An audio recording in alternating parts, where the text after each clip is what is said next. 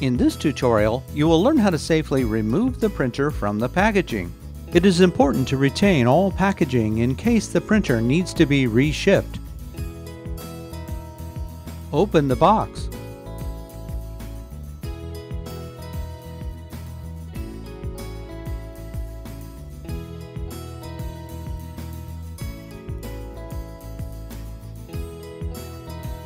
Remove the setup guide.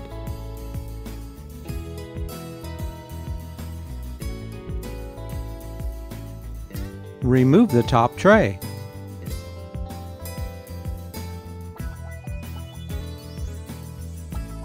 Remove the printer in the bag from the box.